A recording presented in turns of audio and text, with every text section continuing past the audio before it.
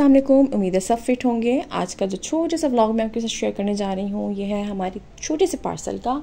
और ये ऑर्डर हमें रिसीव हुआ था रावलपिंडी से। हमारी जो क्लाइंट हैं, ये एक्चुअली हमसे पहले भी कुछ सामान जो है मटेरियल अड्डा मटेरियल मंगवा चुकी थी और हमारी सर्विस से अलहमदिल्ला सेटिस्फाइड थी तो इन्होंने सेकेंड टाइम हमें जो ऑर्डर प्लेस किया था। आ, ये था पेपर्स का ट्रेसिंग पेपर्स का।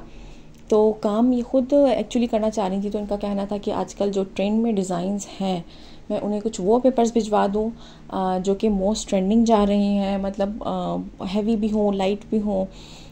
मुख्तलिफ़ तरह के इन्होंने दस बारह पेपर्स ऑर्डर किए थे। तो वो वाले हमने इन्हें भिजवाए थे।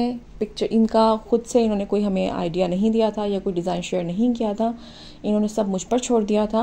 तो उसके साथ ही पेपर्स के साथ मैंने इन्हें व्हाट्सएप की थी पिक्चर्स ट्रेसिंग वाले शॉप से लेकर, ताकि उन्हें आइडिया हो जाए कि इस डिज़ाइन को किस तरह से बनाना है और किस तरह से कलर कॉम्बिनेशन इस पर सेट करने हैं। ये ऑर्डर हमने भेजा था पोस्ट ऑफ़िस से। वीडियो पसंद आई हो तो उसको लाइक कीजिएगा कॉमेंट कीजिएगा। चैनल अगर अभी तक सब्सक्राइब नहीं किया है।